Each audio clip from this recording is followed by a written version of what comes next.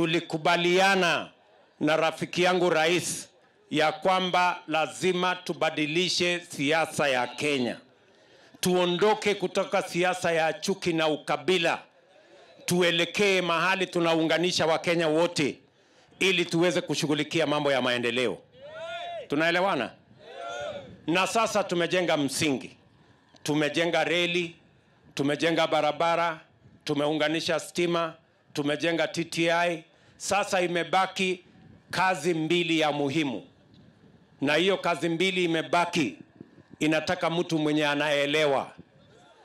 Hiyo kazi mbili imebaki ni kutafuta ajira kwa hawa vijana, wapate ajira, wafanye kazi, walipe ushuru, watusaidie kupeleka taifa letu mbele.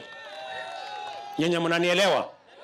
Na tulikuwa tumepanga tayari, tukasema mahali nafasi mamilioni itapatikana ya ajira kwa vijana wa Kenya ni kupitia mradi wa housing ambayo tuliweka katika Big Four, agro processing, value addition na manufacturing.